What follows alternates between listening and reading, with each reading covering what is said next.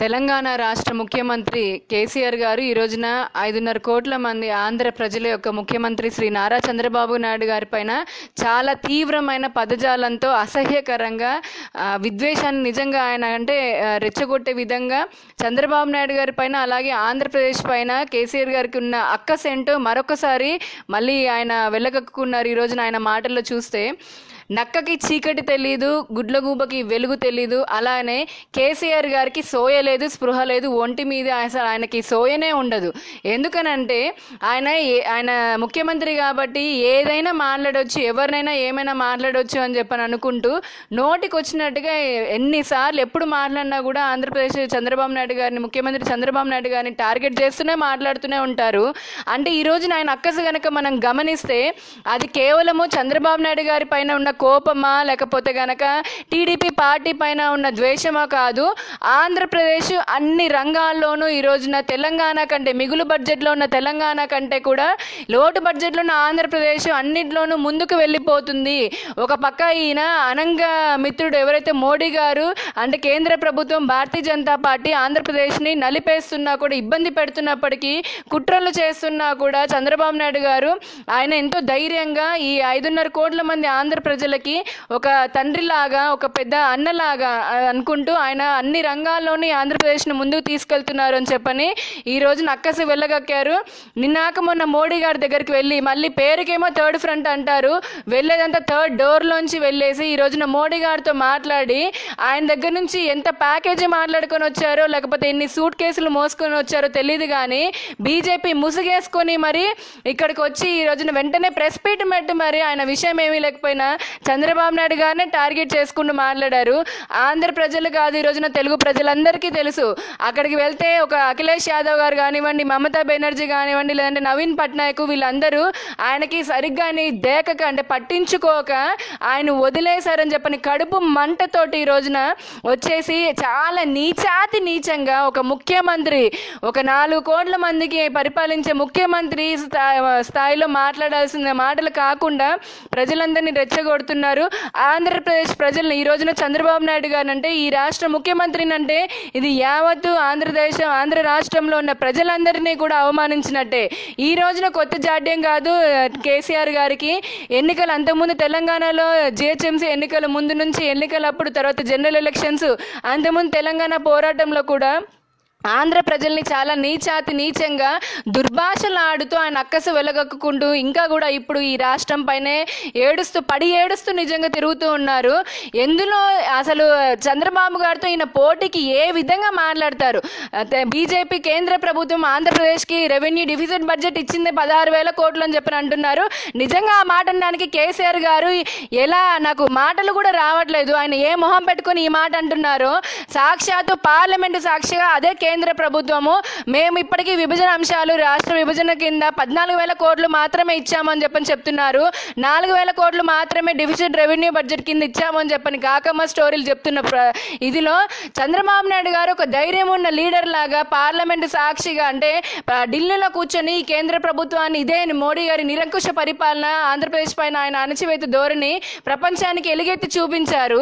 ఆ తర్వాత ఇప్పుడు ధర్మ పోరాట దీక్షలు కంటిన్యూ చేస్తూ ఈ రోజున శ్వేతపత్రాలు దమ్మున్న ఒక లీడర్ లాగా ఐదున్నర కోట్ల మంది రిప్రజెంట్ చేసే ఒక ఆంధ్ర నాయకుడు లాగా తెలుగు నాయకుడు లాగా ఈ రోజున శ్వేతపత్రాలు రిలీజ్ చేస్తూ ప్రతి అంశంలోనూ ఈ రాష్ట్రము ఎన్నో ఇబ్బందులు ఒడుకుంటూ పసి గుడ్డు లాంటి ఈ రాష్ట్రము ఎంత ముందుకు అభివృద్ధిలో వెళ్తుందని చెప్పని శ్వేతపత్రం రిలీజ్ చేస్తూ ఉంటే ఆయన నేను దళితుడిని సీఎం చేయకపోతే తల నరుక్కుంటా అన్నాడు. లేకపోతే గనక ఇచ్చిన హామీలు నెరవేర్చుకోపోతే గనక కేసీఆర్ తల నరుక్కుంటా అన్నాడు. అయ్యా నిన్న ఇదే సూటి ప్రశ్న అడుగుతున్నాను. ఇప్పటికి ఎన్నిసార్లు మీరు తలకాయ నరుక్కొని తలకాయ అంటించుకొని ఇలా ఢిల్లీ దగ్గరికి వెళ్ళి మోడీ గారి దగ్గర నక్క వినయాలు ప్రదర్శిస్తూ వస్తున్నారు. ఇప్పటికి ఎన్నిసార్లు మీ తల నరుక్కున్నారు? ఎన్నిసార్లు ముక్కలైంది? మళ్ళీ అతికించుకొని మీరు పోయారని చెప్పని యావత్ ఆంధ్ర రాష్ట్ర ప్రజలందరూ ఈ రోజున అడుగుతున్నారు మిమ్మల్ని. మీరు ఆంధ్ర రాష్ట్రానికి ఇవ్వాల్సిన కరెంటు బకాయిలు ఇవ్వరు. అలాగే షెడ్యూల్ తొమ్మిది పదిలో రావాల్సినట్టుగా విభజించి నలభై వేల కోట్లకు పైగా రావాల్సిన ఏదైతే డబ్బు ఉందో అది కూడా ఆంధ్ర రాష్ట్ర రాష్ట్రానికి ఇవ్వరు. ప్రత్యేక హోదా పైన ఊసరవెల్లిలాగా రోజుకొక మాట మారుచు మారుస్తూ మీ టీఆర్ఎస్ నేతలు హరీష్ రావు గారు కానివ్వండి లేకపోతే మిగతా వాళ్ళు మాట్లాడుతున్నప్పుడు మీ తెలంగాణ ఎలక్షన్స్ ఉన్నప్పుడు మీకు చెవులు మూసుకుపోయాయా? అప్పుడు ఎందుకు మరి మీరు ఈ మాటలన్నీ మాట్లాడలేదు? అప్పుడేమో ఆంధ్రప్రదేశ్కి ప్రత్యేక హోదా ఇస్తాము వస్తే కనుక ఇక్కడ తెలంగాణలో పరిశ్రమలు రావు తెలంగాణ నష్టపోతుందని చెప్పని అంటారు. ఇప్పుడేమో మళ్ళీ ఊసరు వెళ్ళిలాగా మాట్లాడుతున్నారు మీరు. మీరు ఎన్ని రకాలుగా అనుకున్నా కూడా చంద్రబాబు నాయుడు గారి రాజకీయం గురించి లేకపోతే కనుక ఆయన భాష గురించి నీతి జాతి గురించి లేదంటే ఎన్టీఆర్ గారి దాని గురించి మీరు మాట్లాడుతున్నారు. అప్పుడు మామ మామగారు అని అంటున్నారు. అప్పుడు మీరు ఏ పార్టీలో ఉన్నారయ్యా? అది ప్రజలకు తెలియదా లేకపోతే రెండు వేల తొమ్మిది ఎలక్షన్స్కు ముందు మీరు ఉప ఎన్నికలు చిత్తుగా ఓడిపోయిన తర్వాత ఇదే చంద్రబాబు గారి దగ్గరకు వచ్చి కింద ఫ్లోర్లో కూర్చొని మీ పొత్తు పెట్టుకోవాలని చెప్పి ఆయన కాలబేరానికి రాలేదా? అది ప్రజలందరికీ తెలియదు అనుకుంటున్నారా మర్చిపోతున్నారు అనుకుంటు మర్చిపోయారని అనుకుంటున్నారా? కాంగ్రెస్ తెలంగాణ రాష్ట్రాన్ని విభజిస్తే ఆమెకి మొత్తం జీవితం మొత్తము మీ కాళ్ళ దగ్గర ఉంటాము. కాంగ్రెస్ పార్టీలో విలీనం చేస్తా అని చెప్పని చెప్పారు. అప్పుడు ఏమైనా మీ మాట నిరూపించుకున్నారా మీరు? ఆ తర్వాత వాళ్ళ కుటుంబం మొత్తం వెళ్ళి కాంగ్రెస్ సోనియా గాంధీ గారి కాళ్ళు మొక్కారు దండం పెట్టుకుని ఫోటోలు నవ్వుతూ దిగొచ్చారు. తర్వాత వెనక్కి వచ్చి మళ్ళీ ఆవిడ గురించి చాలా నీచంగా మాట్లాడడం మొదలు పెట్టారు. దయ్యము భూతము అని చెప్పని ఇలా రకరకాలుగా. తెలంగాణ ప్రజల్ని మోసం చేసింది మీరు. మిగులు బడ్జెట్లో ఉన్న రాష్ట్రాన్ని అప్పుల పాలు చేసింది మీరు. సైబర్ సైబరాబాద్ చంద్రబాబు నాయుడు గారు ఏం కట్టలేదన్నారు? సైబరాబాద్ టవర్స్ కట్టింది చంద్రబాబు గారు. కాకపోతే మీ పూర్వీకులు మీ తాత ముత్తాతలు వచ్చి దిగొచ్చి కట్టారా? అప్పుడు ఎక్కడ కూర్చున్నారు మీరు? తెలంగాణలో లేరా? అప్పుడు చూడలేదా? సైబర్ టవర్స్ కడుతున్నప్పుడు. ఇప్పుడు కేంద్ర ప్రభుత్వం అన్నీ ఇచ్చేసిందని బీజేపీ ముసుగేసుకొని మీరేమైనా కన్నా లక్ష్మీలాగా మాట్లా మారిపోయారా?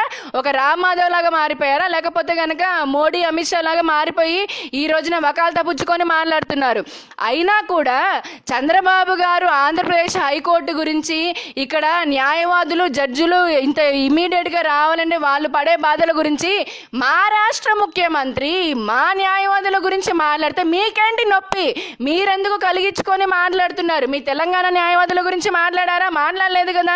మీ తెలంగాణ జోలికి ఇప్పుడు వచ్చారా? రాలేదు కదా. మేము ఇక్కడ శ్వేతపత్రం రిలీజ్ చేసుకుంటే మీకేంటి బాధ? ఎందుకు మీకు దమ్ము లేదనా? ఈ నాలుగు సంవత్సరాల్లో మీరు తెలంగాణలో చేసింది ఏమీ లేదు. పోనీ చేసింది శ్వేతపత్రం రిలీజ్ చేసే దమ్ము మీకు లేదని చెప్పని ఈ రోజున శ్వేతపత్రం రిలీజ్ చేస్తుంటే ఇక్కడ కూర్చొని మాట్లాడుతున్నారా మీరు? ఆంధ్రప్రదేశ్ ముఖ్యమంత్రిని గారు అంటున్నారు. ఆయనకి ఇంగ్లీష్ వచ్చా హిందీ వచ్చా అని అన్నారు. ఆయనకి ఏ ఇంగ్లీష్ వచ్చినా రాకపోయినా ఎంత భాష వస్తే ఒక మైక్రోసాఫ్ట్ని ఒక యాపిల్ని లేదంటే ప్రపంచంలో ఉన్న అతి ముఖ్యమైన ఐటీ మొత్తం రంగాన్ని తీసుకొచ్చి సైబరాబాద్ కట్టాడండి. మీకు ఎంత భాషా ప్రావీణ్యం ఉండి మరి మీరు ఈ నాలుగు సంవత్సరాలలో మీరేం కొత్తగా తీసుకొచ్చారు? మీరేమైనా చేశారా?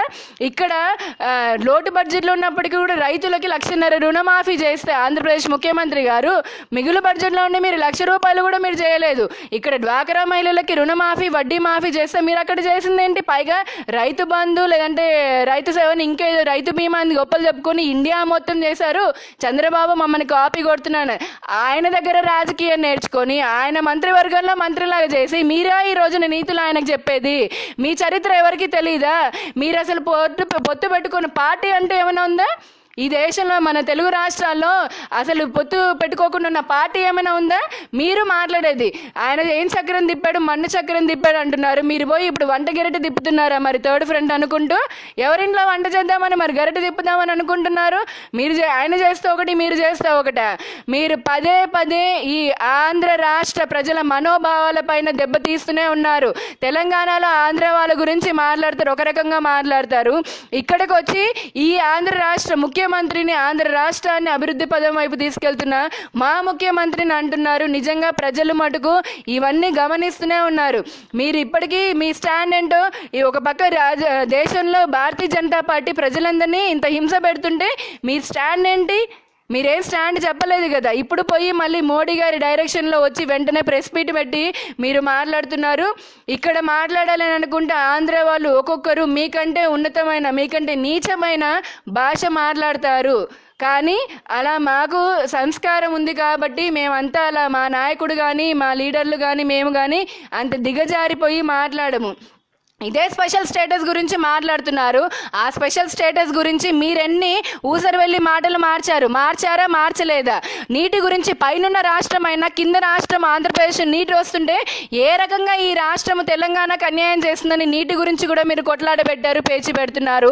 ఈ ఆంధ్ర రాష్ట్రానికి సంబంధించి ప్రతి అభివృద్ధి అంటే ఏదైతే విభజన దానికి రావాలో మీ తెలంగాణకి రావాల్సిన అంశాల గురించి ఎప్పుడు మీరు అడిగింది లేదు పోరాటం చేసింది లేదు కేంద్ర ప్రభుత్వంతో అలా కాకుండా ఇక్కడ ఆంధ్రప్రదేశ్ ముఖ్యమంత్రి గారు నిరవధికంగా పోరాటం చేస్తూ ఉంటే మీరు కళ్ళు పుట్టి కుళ్ళుకొని అక్కడ వాళ్ళందరూ వెళ్ళిన నాయకులు ఎవ్వరూ మిమ్మల్ని పట్టించుకోలేని అక్కసుతోటి ఈ రోజున మీరు మాట్లాడుతున్నారు. అలానే జగన్మోహన్ రెడ్డి గారితో లేకపోతే కనుక ఇంకెవరితోటో మీరు ఇక్కడికి వచ్చి ఆంధ్ర రాష్ట్రంలో నేను వీళ్ళకి సపోర్ట్ చేస్తాను నేను చక్రం తిప్పుతాను ఆంధ్ర రాష్ట్రంలో అంటున్నారు. నిజంగా ఈ రోజున ఆంధ్రప్రదేశ్ రాష్ట్ర ప్రజలందరూ అడుగుతున్నారు. మేము అక్కడ అంటే మీకు అందరికీ చెప్తున్నాము తెలంగాణలో టీడీపీ నించిన పదమూడు స్థానాల్లో రెండు స్థానాలు గెలుచుకున్నాము. చివరి నిమిషంలో అయినా సరే మీరు ఆంధ్రాకి వచ్చి ఏమి చేస్తారు? మీరు పొత్తుల గురించి అని చెప్పని ఇదే చంద్రబాబు నాయుడు గారి గురించి ఎన్నిసార్లు ఆయన బతిమిలాడాలో ప్రజలందరికీ తెలుసు. ఇకపోతే మీరు ఆ బీజేపీ కోవట్ లాగా లేదంటే ముసుగు వేసుకొని బీజేపీ వకాలతో పుచ్చుకొని అక్కడున్న తెలంగాణ ప్రజలు కూడా మిమ్మల్ని చీకొట్టే విధంగా మీరు అలా మాట్లాడకుండా ఉంటే బాగుంటుంది. ఖచ్చితంగా ఈ రాష్ట్ర ప్రజలందరూ గమనిస్తున్నారు. మీరు ఇది మానుకోండి కేసీఆర్ గారు. మీ రాష్ట్రం మీకు మీరు పరిపాలన సాగించుకోండి. మీ రాష్ట్రానికి రావాల్సిన హక్కుల గురించి మీరు మాట్లాడండి పోరాడండి. ఆ రాష్ట్ర ప్రజలకి మీరు అభివృద్ధి చేసుకుంటారు ఇంకేం చేసుకుంటారు? కానీ ఈ రాష్ట్రంలో జరిగే అభివృద్ధిని కానివ్వండి లేదంటే చంద్రబాబు నాయుడు గారి గురించి మాట్లాడే హక్కు నైతిక ఇది మీకు ఏ మాత్రమూ లేదు. మీరు ఇలాంటి మాట్లాడితే చప్పట్లు కొట్టుకుంటూ మీ చుట్టూ భజన చేసే ఇక్కడ ఆంధ్రప్రదేశ్ ద్రోహ రాజకీయ పార్టీలు మీకు ఏమైనా కనుక పనికి వస్తాయేమో కానీ వాటన్నిటికీ కూడా ఈ రోజున ప్రజలు బుద్ధి చెప్తారు. ఈ రాష్ట్ర ప్రజలు అందరూ ఒక పోలవరాన్ని ఒక అమరావతి రాజధానిని అలాగనే రాయలసీమని రతనాల గడ్డగా పరిశ్రమల గడ్డగా మార్చిన చంద్రబాబు గారిని రెండు నూట డెబ్బై ఐదు టీఎంసీ నీళ్ళు రాయలసీమకి ఇచ్చి దాన్ని సస్యశ్యామలం చేసిన ముఖ్యమంత్రి గారిని అలాగే డ్వాక్రా రుణాలు రుణమాఫీ చేసిన చంద్రబాబు నాయుడు గారిని రైతులు స్వచ్ఛందంగా వాళ్ళకి ఎంతమంది ముప్పై మూడు వేల ఎకరాలు ఇచ్చి రాజధాని కోసం కట్టుకుంటూ ఇటుక ఇటుక పేరుస్తూ పేరుస్తూ తమ వంతు సహాయం చేస్తున్న రైతులు కానివ్వండి నిరుద్యోగ భృతి అందుకుంటూ స్కిల్ డెవలప్మెంట్లో నెంబర్ వన్. అలానే ఈజ్ ఆఫ్ డూయింగ్ బిజినెస్లో మూడు సంవత్సరాలు నెంబర్ వన్లో ఉన్నాము. ట్రాన్స్పరెన్సీలు అంత ఎందుకండి కేసీఆర్ గారు? మీరేదో పెద్ద మాటలు చెప్తా ఉన్నారు ఈ రోజున. ఇదే ఆంధ్రప్రదేశ్ ట్రాన్స్పరెన్సీలు అవినీతి రహితంలో మూడో స్థానానికి వచ్చింది. అదే తెలంగాణ ఎన్నో స్థానంలో ఉంది. ఏడో స్థానమో ఎనిమిదో స్థానంలో ఉంది. దీన్ని బట్టి తెలియట్లేదా? ఆయన ఎక్కువ ఈ రాష్ట్రం ఎటు అభివృద్ధి వైపు వెళ్తుంటే మీ తెలంగాణ రాష్ట్రం అవినీతి వైపు పోతుందనేసి. మీరు ఇప్పుడు కూర్చొని భజన చేసుకుంటూ మోడీ గారికి బీజేపీకి భజన చేస్తుంటే ఈ రాష్ట్రంలో ఏమైనా ప్రజలు మారతారేమో లేదంటే మీ వైపు తిప్పుతారేమో అని చెప్పి నీ బీజేపీ పన్నుతున్న పన్నాగంలో మీరు ఒక పావులాగా అవ్వాలని అనుకుంటే గనక ఖచ్చితంగా మీకు కూడా బుద్ధి చెప్తారు. మీ రాష్ట్రం మీరు పనులు చేసుకోండి. అంతేగాని ఈ రాష్ట్రం వైపు వస్తే మటుకు ఈ రాష్ట్రంలో ఉన్న ప్రజలందరూ కూడా మీకు తగిన రీతిలోనే సమాధానం చెప్తారు. మీరు ఒక ముఖ్యమంత్రి అని చెప్పని ఇంకొక ముఖ్యమంత్రిని అంటున్నారని చెప్పని మీరు స్పృహలో ఉండి మీరు ఇందాక చంద్రబాబు గారు అన్నారు నీతి జాతి విజ్ఞానము జ్ఞానము ఇలాంటివన్నీ ఆ పదాలు వాటిల మీనింగ్లు మీకు తెలిస్తే గనక మీరు ఉపయోగించుకునే భాషని మటుకు చాలా మీరు కంట్రోల్లో పెట్టుకొని పెట్టుకొని మాట్లాడాల్సిన అవసరం ఎంతైనా ఉంది. ఆయన ఎన్నో పథకాల్లో ఎన్నో స్కీముల్లో దేశంలోనే నెంబర్ వన్ లాగా ముందున్నారు. మీ ఆయన మీ తెలంగాణ పెద్ద మీ అపర రాజకీయ పరిజ్ఞానము లేదంటే మీరు పెట్టిన స్కీములను చూసి కాపీ కొట్టారనేది హాస్యాస్పదంగా ఉంటుంది. మీరు మాట్లాడే మాటలు నక్క జిత్తుల మారి మాటలు మీలాంటి జిత్తులో మారి లీడర్లు ఈ ఆంధ్రప్రదేశ్కి అవసరం లేదు. పసిగొడ్డు లాంటి రాష్ట్రానికి సగ మంచిగా పరిపాలించే ఒక మేనేజర్ లాంటి నిజంగా చంద్రబాబు నాయుడు గారే కావాలి ఈ రోజున. అలాంటి నాయకత్వాన్ని ఈ జ- కోరుకుంటున్నారు. ఇకపోతే మామ గురించి మాట్లాడేటప్పుడు అదే అప్పుడు మీరు ఇదే పార్టీలో ఉన్నారు. ఏ పార్టీలో ఉన్నారయ్యా? అప్పుడు ఆ తర్వాత ప్రజలు ఏ విధంగా తర్వాత జరిగిన ఎలక్షన్స్లో చంద్రబాబు నాయుడు గారికి పట్టం కట్టారు మీకు తెలిసిందే? మా అందరికంటే మీకే ఎక్కువ తెలుసు. దయచేసి ఇక్కడున్న ఆంధ్రప్రదేశ్ ప్రజల మనోభావాన్ని దెబ్బతీయొద్దు. ఇప్పటికే చాలా ఆర్థికంగా అన్ని విధాలుగా కేంద్రం చేసే కుట్రల్లో ఈ ఆంధ్రప్రదేశ్ చాలా నలిగిపోతూ ఉంది. మేము ఒక పక్క కేంద్ర ప్రభుత్వంతో పోరాడుతూనే ఉన్నాము. ఇంకొక పక్క మేము అభివృద్ధి ముందుకు తీసుకొని పోతున్నాము. దయచేసి మీకు చేతనైతే మీకు సహాయం ఎలాగూ చేయరు. రాళ్ళు వేస్తానే ఉన్నారు. ఇప్పుడు ఈ విధంగా కూడా మా మనోస్థైర్యాన్ని దెబ్బతీయాలనుకుంటున్నాం ఈ కుట్రని ఈ ప్రజలు ముందుకు తీసుకొని వెళ్ళరు.